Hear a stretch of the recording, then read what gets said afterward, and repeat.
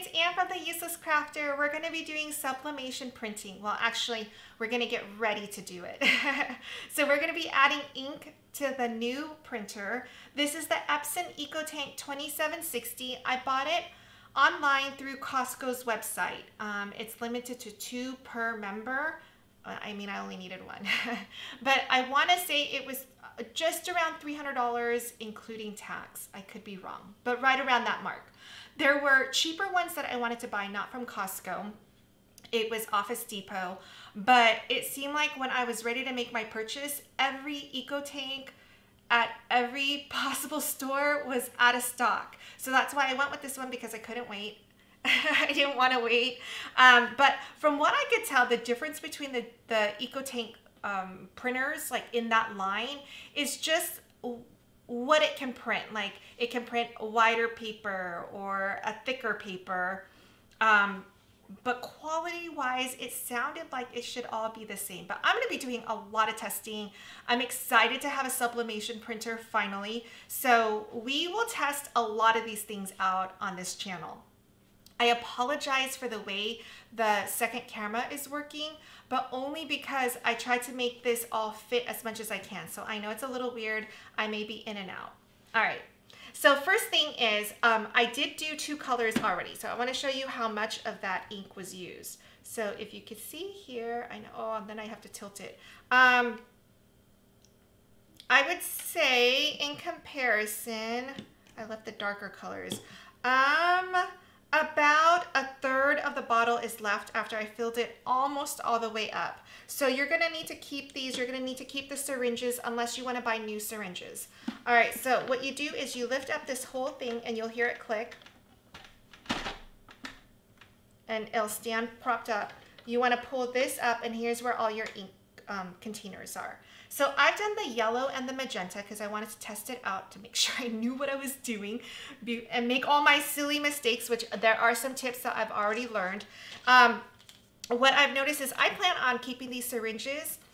I clean them pretty well, but I kept the, the color, the label on here and I don't think that I needed to, but I was just being extra careful because you could see a little ink that's left in this part right here. I couldn't get to it. Like you can't take it out. So I'm going to use, make sure that the next time I use yellow with this syringe again. So, and same thing with the magenta.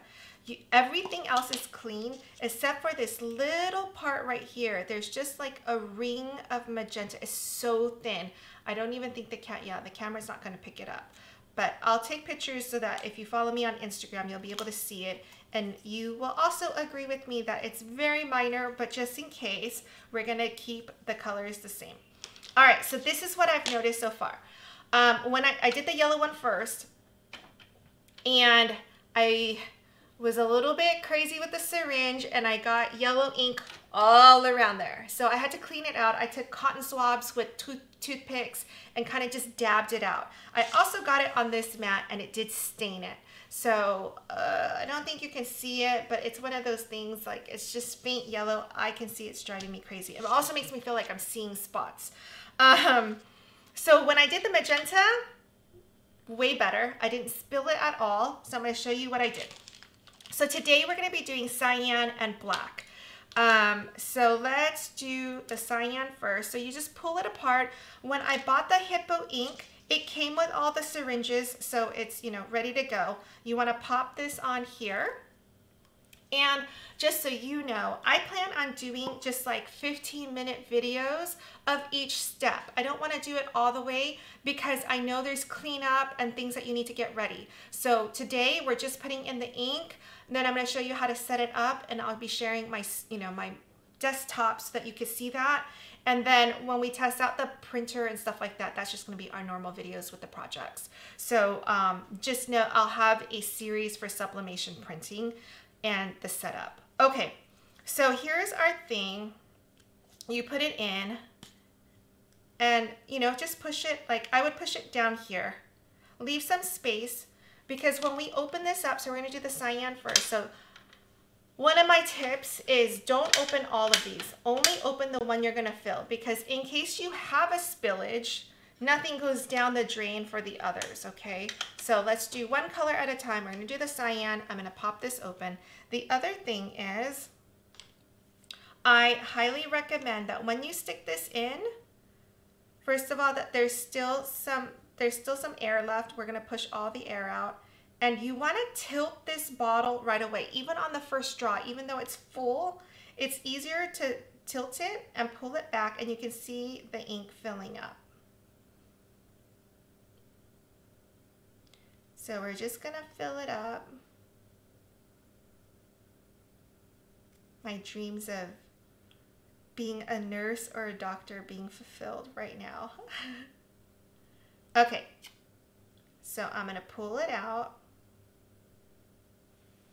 and I'm just gonna keep it up like this. So there's two little holes there. I'm gonna put it in one of the holes and then just slowly push down on it to release the ink. Now, when the ink gets down to close to here, stop. Because what will happen is when there's air and there's no more ink and you push out too much, it will blow up. So, um, you know, just trust me on that. All right, so I'm gonna put it in.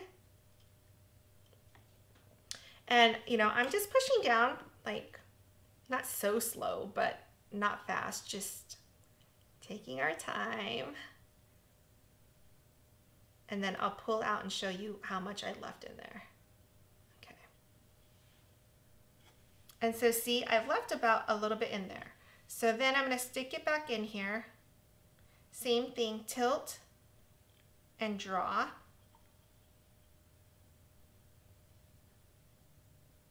And we're gonna do this a few times. And I can't tilt it up to show you, but in the front, it's like, um, like a frosted pane window. So you can see where the ink is. I filled it not all the way to the top, but to the next line down. So pretty full. All right, so let's get this in here. And the way I'm doing it right now, it's just getting the ink in that little, um, the little holes. There's, it's not spilling out at all.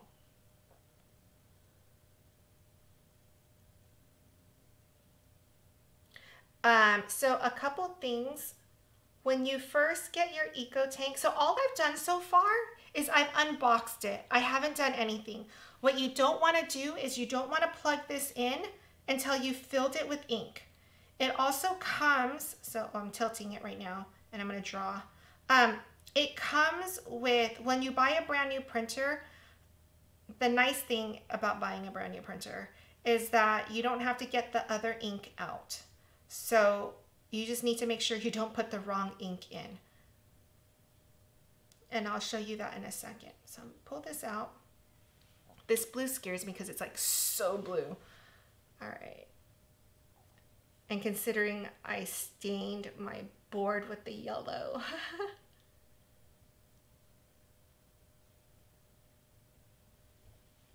Yeah, we're only like halfway.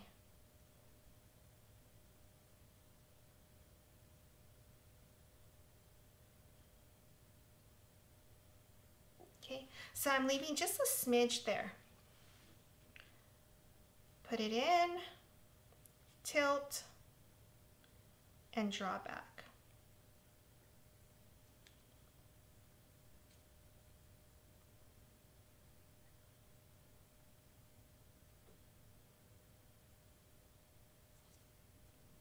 I will link to everything that I bought. Um, I'm not an affiliate with Costco, I wish. I don't even know if they have that. but with Amazon, that's where I bought the, um, where I got the ink and the paper and the butcher paper. And um, it's already linked right now. So if you wanted to go to my Amazon shop, it's just, um, what is it? It's amazon.com slash shop slash the useless crafter. I just completely blanked out. All right, here we go. Um, so we're about, actually now we're about halfway. So we're gonna do this a few more times.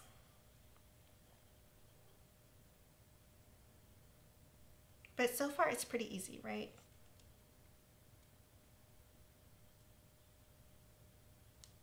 I got the mug press, as some of, some of you may know. So I'm super looking forward to doing sublimation um, printing with the mug press. So I, I have lots of ideas if you have kids. I want um, Charlotte to be drawing a lot of things and putting it on mugs for everybody. Well, not everybody, grandparents. People who actually want her stuff. okay, why is it? Um, you know what? I'm going to stop right here. It looks like it's bubbling up. So you do want to put it in, I think it's kind of hard to tell. It looks like there's still space, but I don't know why it's bubbling up. Let me see if I can put in a little bit more. Okay, it's definitely bubbling up. So I'm gonna pour out the rest in here. Whoa.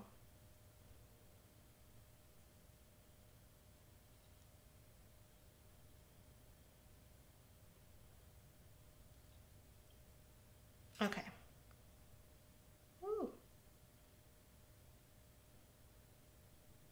You don't want to shake the bottles. And I'm like scared of this bubble. It's gonna pop and get everywhere. All right, so I'm gonna put this down.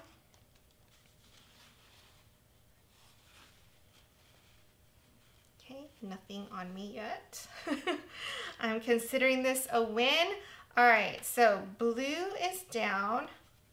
I'm gonna close this up open up the black one. So this one, I'm going to leave, I don't want anything to mix. So I'm gonna leave this here. I'm gonna go get more paper towels. Give me one second.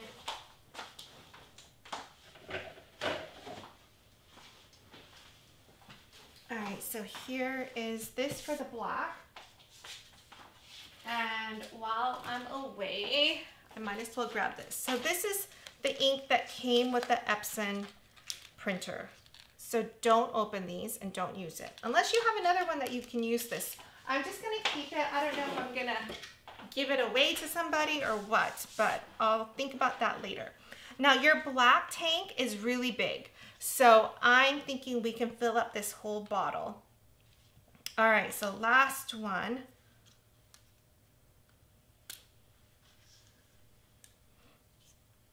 Put this in. Stick it in, tilt, and let's draw this back and see what we get.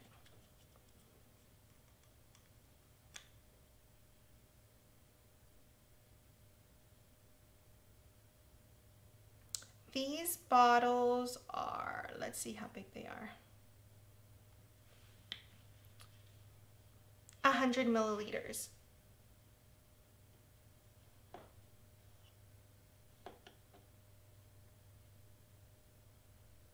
Okay, so I'm just slowly, like I said, gently pushing it down, getting it all in there, and I'm gonna leave just a smidge above so that I don't get spraying of the air.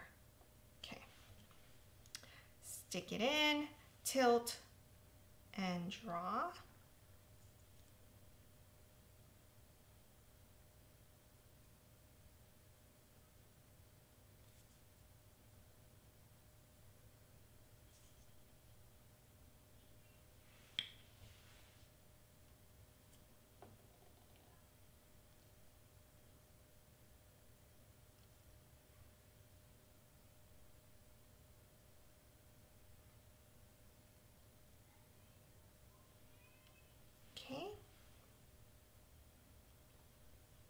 So I um I want to test on the sublimation paper with laser paper because I know oh okay. So I don't know if you can see this but I have a lot of air bubbles in this one. I didn't realize that I didn't have this tilted up so it was drawing in a lot of air. So what I'm gonna do is I'm gonna see if I can draw back a little bit more and get some ink in there. Okay. I'm a little bit worried about this one because I don't want I don't want it to push out air and spray us. So I'm going to go really, really slowly. Okay, I heard a little like burst. So I'm gonna throw it back in here.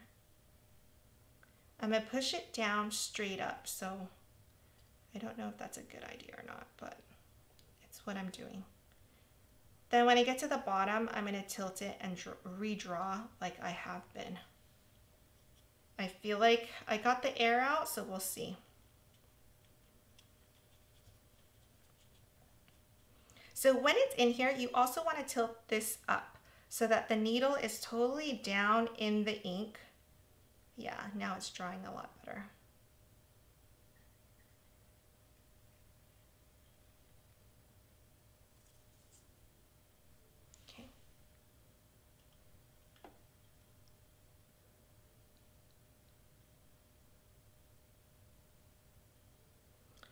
So I read a couple things. Um, one is it says to actually keep the print. Oh, it bubbled up for a second. Um, to keep the printer on all the time so that it doesn't clog up. So I will be keeping it on. I'm not going to bother testing that out. Just in case you're wondering, that's not something I'm going to test out. I'm going to test out quality of paper and, you know, to see what works best, stuff like that. Okay. Let's see. Okay, it's filling up well. There's still plenty of room.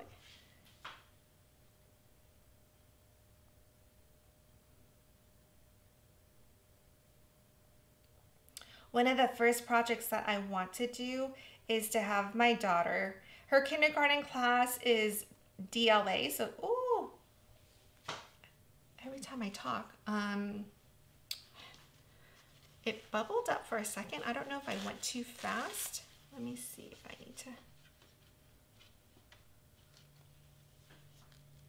Oh, it got out on the side. Okay.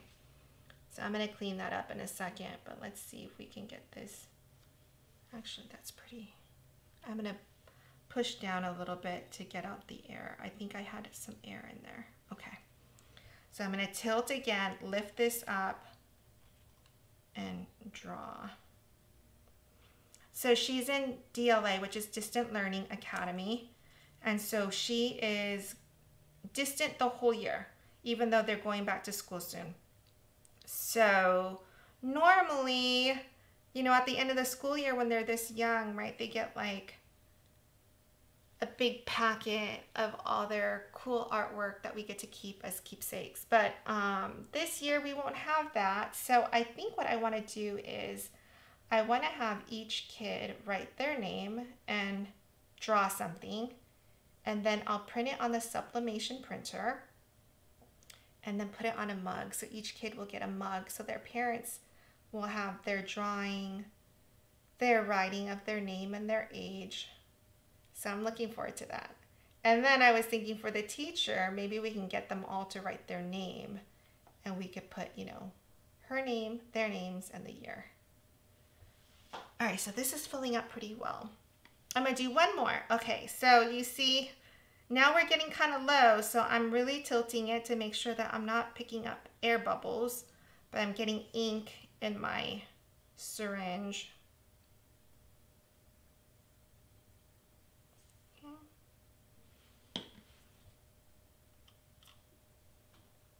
And it's really hard to tell with the cyan and the black how much is left in the actual bottles that it came in. So, but good thing I messed up, right? Because I'm going to show you how I clean it. It's a learning opportunity, not a mistake. Okay, let's see. I'm going to do one more and then, and then we'll clean up. Okay, so I'm going to tilt it.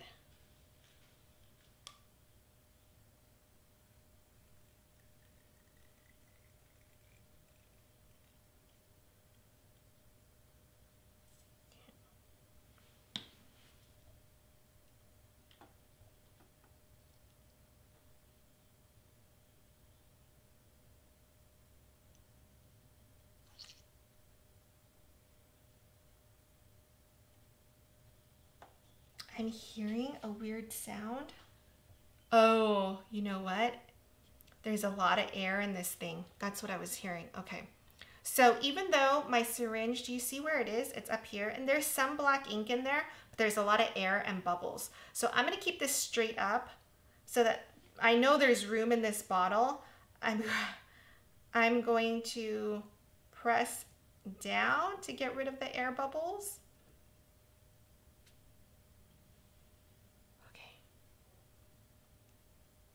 All right, and then I'm going to tilt. Oh, did you see that? Okay, so I'm gonna tilt and draw.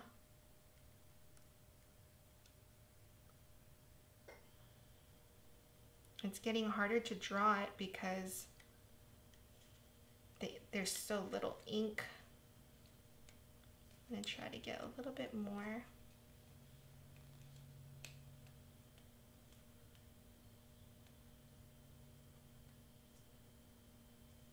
Okay. So when you're doing this, I would say do it in a quiet environment so that you can hear you can hear the sound is different as you start to get air in there.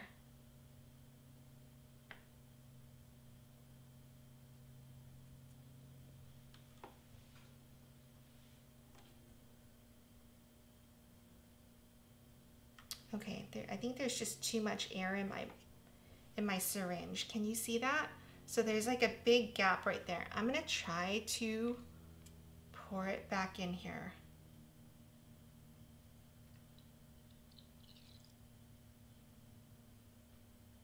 And see it's bubbling up.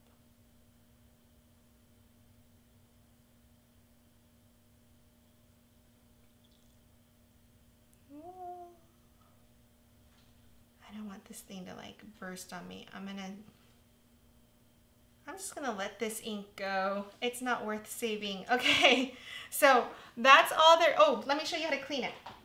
So I still have some cotton balls and I always have toothpicks nearby, um, clean toothpicks, that is. I have a box of toothpicks because it's just nice to have, you know, they're small.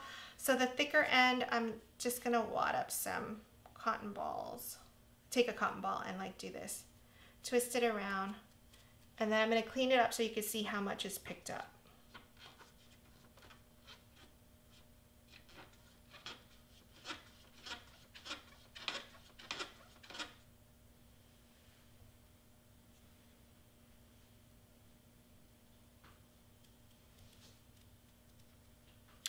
looks pretty.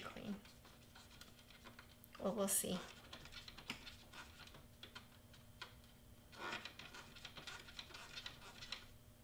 Mm, I mean, it's still picking up stuff.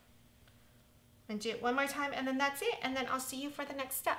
All right, so stay tuned. I'm gonna do it one more time. Let's see how clean we have it. Oh, and I just broke my toothpick. All right, let's see.